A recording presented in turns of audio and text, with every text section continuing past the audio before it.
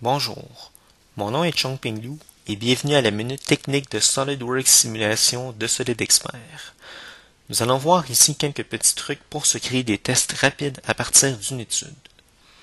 Comme vous le savez bien, il est possible de créer une nouvelle étude de simulation dans le but de se faire un test similaire, mais il est aussi possible de copier des fonctions déjà créées ou même des dossiers de fonctions et les amener d'une étude à une autre en les sélectionnant de l'ancienne étude et en les glissant vers la nouvelle.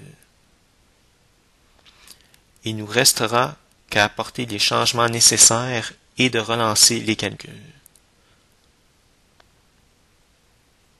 De cette manière, nous réduisons le temps de création de la nouvelle étude. Aussi, il est possible de dupliquer une étude, mais si vous regardez bien, il y a même dans certains cas des options pour transformer une étude en un autre type, comme dans ce cas-ci, une étude non linéaire statique qui deviendra une étude non linéaire dynamique en copie.